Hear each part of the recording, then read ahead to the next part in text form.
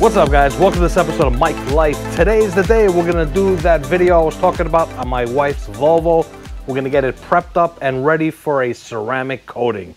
And here is the Volvo. So we got the XC90 here. It's a 2020. So products I'm gonna use in this video, I'm gonna do it the way I did my filthy car wash video, where there's gonna be a lot of music in the video, but in the video I'll be talking about also the products that I'm using on the vehicle. So let's start off by cleaning those rims and tires. So the products I'm gonna be using is some wheel and tire cleaner that I got here. But what I've done here is I've put it inside my IK spray foamer. So I'll be spraying foam on the rims and tires and then cleaning away. So enjoy the video.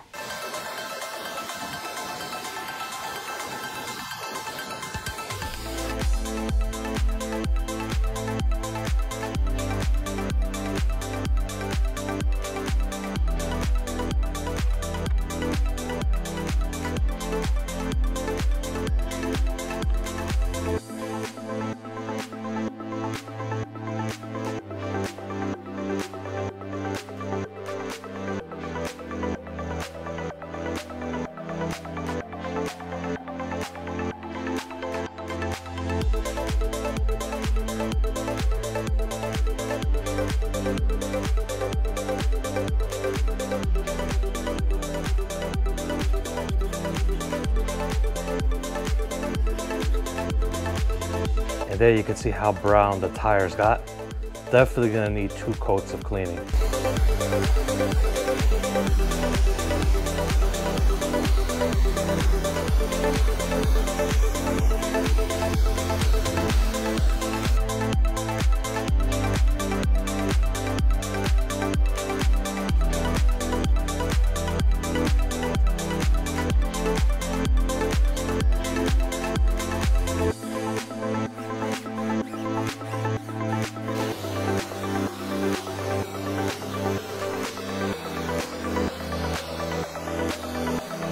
Now that everything is nice and clean, I'm gonna use some rim protection. I'm gonna use some Gyeon wet coats. So basically just gonna spray it on there. Make sure to get it inside the inner barrels. Then you're gonna grab your pressure washer and spray away.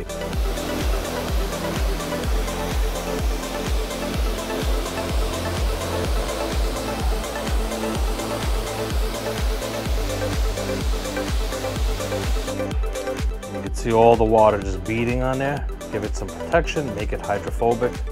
Very nice. Now that the wheels and tires have been cleaned, I got my MJJC Foam Cannon Pro version 2 here. Got water about halfway. Inside here I have about two ounces of some simple green heavy duty degreaser, which I'm gonna pour in.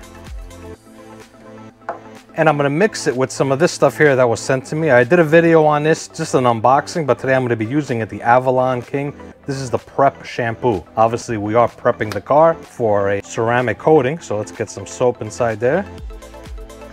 All right, that should be good. Put the top on, give it a little shake.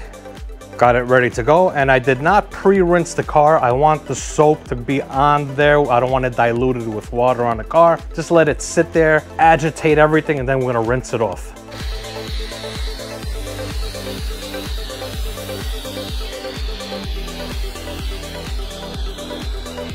We'll be right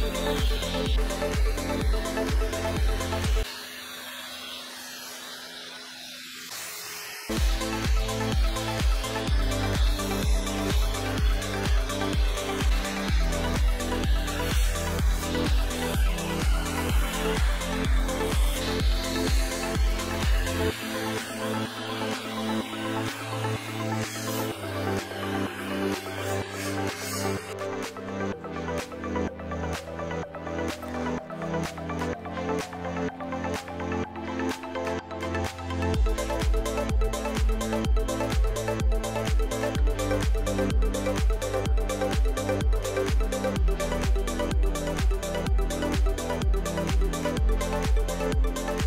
All right guys, I got the car rinsed off. Now, this is the part where you would do like an iron remover. I've already done that. I did it last week on the car because I did some sort of prep on here. So we're not gonna do an iron remover today. But now what I'm gonna do is snow foam the car and then I'll be doing a contact wash on it and a rinse.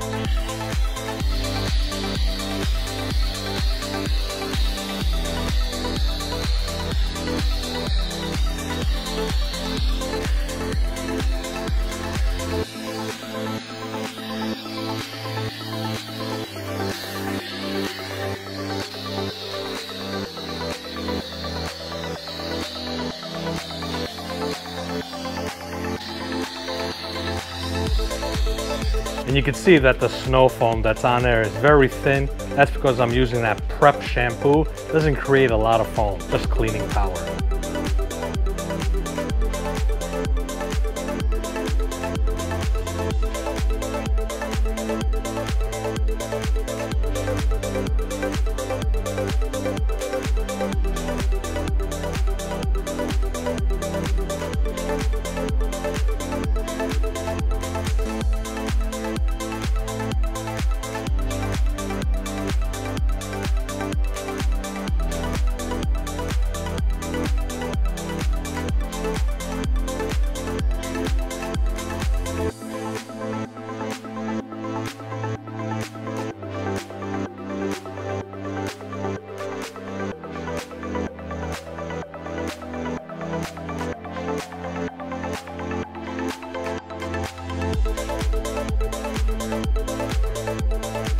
Now that the contact wash is done, we will rinse the car off.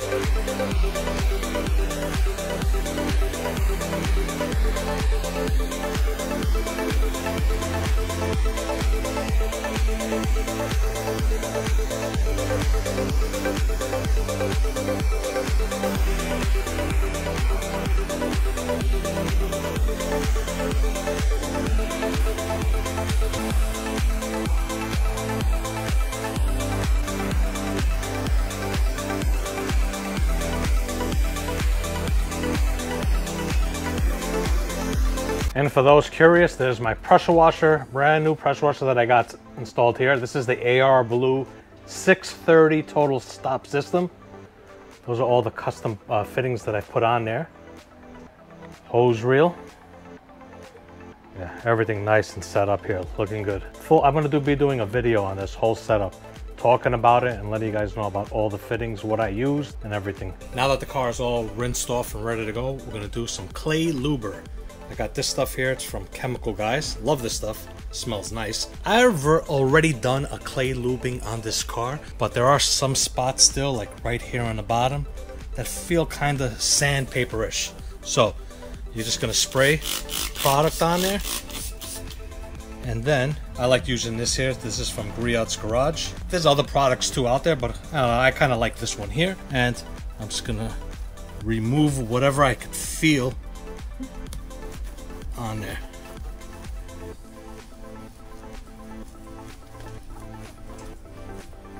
I'll just rub my finger and see if I got everything off. Actually feels good. Feel a little bit up here. Spray a little bit more.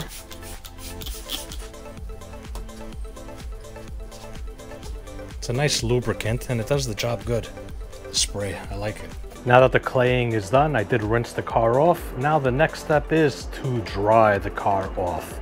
This is my Ego blower, custom tip on there, blower band tip.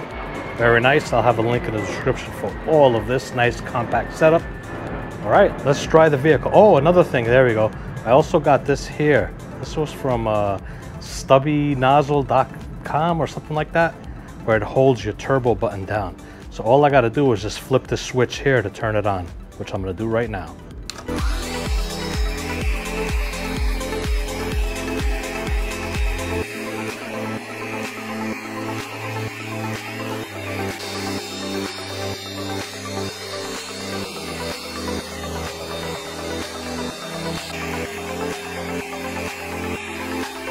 All right, guys, so I dried the car off with the Ego blower. It ain't gonna really do that much. Remember, there is really no protection on here. A lot of the water did come off from the spray wax that I had done a video on a few days ago. So I got a twisted loop gauntlet towel here from the Rag Company. I will have links down below for everything I'm using in this video. Let's dry off the car.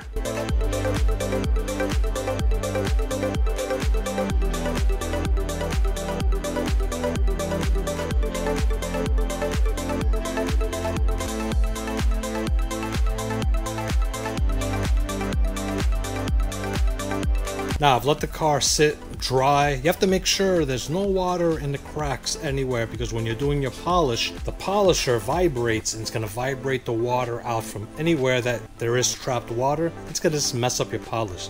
So make sure the car is completely dry before doing a polish. This is what I'm using. Some Sonax. This is the perfect finish. I'm using the Avalon King microfiber towels here to remove the polish. And this is the pad that I'm using. Rupes, the DA Fine, the yellow pad, 5 inch pad. And I'm using it on my SPTA cordless polisher. And for those curious, this is from Griot's Garage. Grab my Sonax polish, make sure you shake it, grab your pad, we'll put a couple of drops on there. Spread it out. I've got it on the number three, and then we're gonna raise it up to number five. And we're just gonna go for a light polish on here. The paint is in pretty good condition. Just wanna boost the gloss on here before we put the ceramic coating.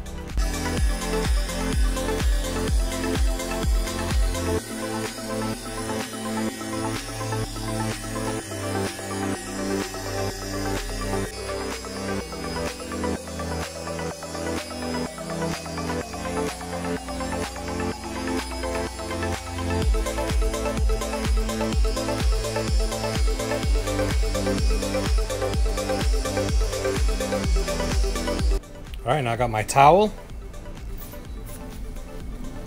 Just wipe the polish off. And sorry for the airplanes flying overhead. As usual, I have no control with the FAA. Ooh, that looks nice. It came out good. Like I said, this is a 2020, 20? Yeah, if I'm not mistaken, right? 2020, yes. And uh, the paint is in pretty good condition. I've kept it in good condition. There were some light swirls, very light imperfections, and I think I got them all out. And I have to say, this Sonax wipes off beautiful.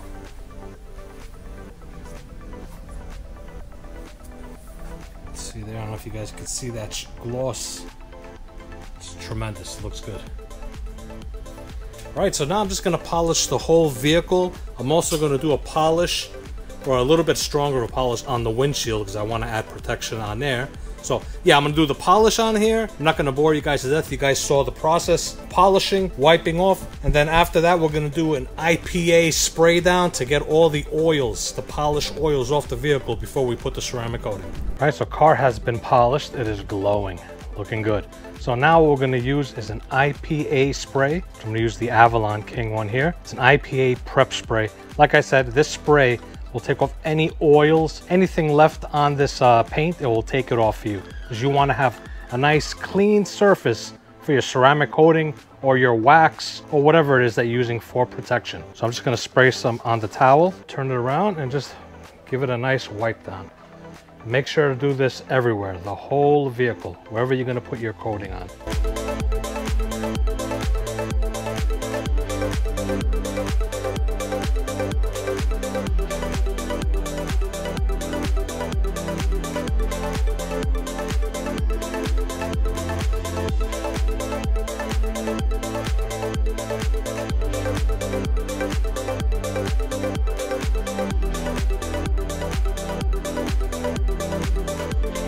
All right guys, now we are ready for the ceramic coating and this is what I'll be using, some Armor Shield Avalon King. Got the bottle here, applicators ready to go. I got some towels here, let's apply it. And make sure when doing all this, always wear some rubber gloves. We're gonna apply some on this applicator. For the first initial time you put it on there, just saturate it a little bit extra on here. So I got it here. Now I'm gonna apply it in a cross hatch section like this. And when you see it start rainbowing, that means it'll be ready for you to remove. And make sure to do small sections at a time if it's hot and humid outside. I think the temperature right now is around 75 and I already see it rainbowing. So I'm gonna do small section, sections. What was I saying there? Alrighty, there we go. All right, got that on. It's gonna be patient with it.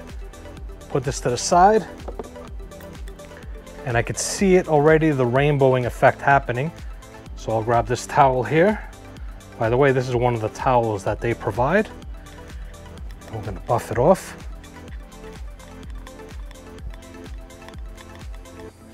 well, it's not really buffing it off. It's more of a, we're leveling it out. All right, this is a perfect angle because I could see I don't have any high spots going on. There we go. So I know I've done this section here up to where I could reach. Now we'll do this section. And now I'm just gonna apply just a tad on there. Let's open that up. Just a little bit because I already saturated it. Again, sorry about the airplane. So I know my line is right here. So I'm gonna try and go a little bit past to make sure I do grab where I left off. And a little goes a long way with this. So I'm gonna be brave and go all the way down. I can see it's drying out on here, so I need to apply a little bit more.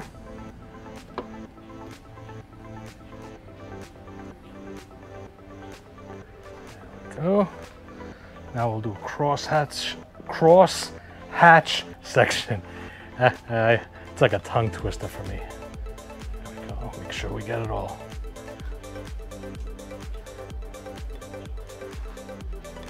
And if you do have a high spot, just put a little bit, some of the product and apply it on there and just buff it off and it will remove. There we go. I think we got everything. I'll grab the towel and buff it off or level it. And once again, these towels that you're using to remove the ceramic coating, they're garbage after you use them.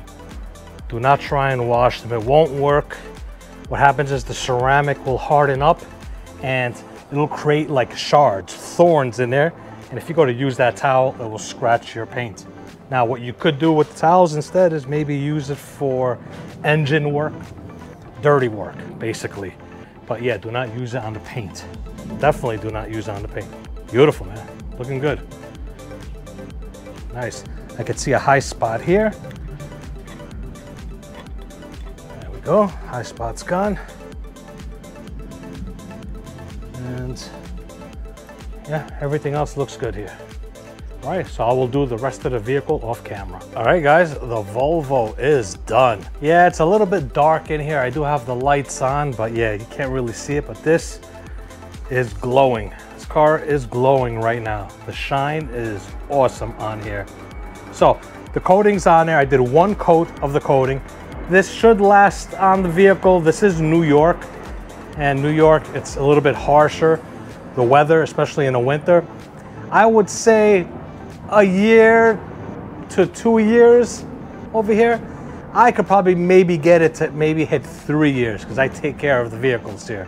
So I would say about two years. But I did everything I was supposed to do. Decontamination of the whole vehicle, did the claying, polish, all the little imperfections and swirls, applied it. Now I do have it under the uh, carport. And I'm gonna leave it under here for 24 hours. They say at least, you need at least 24 hours to cure.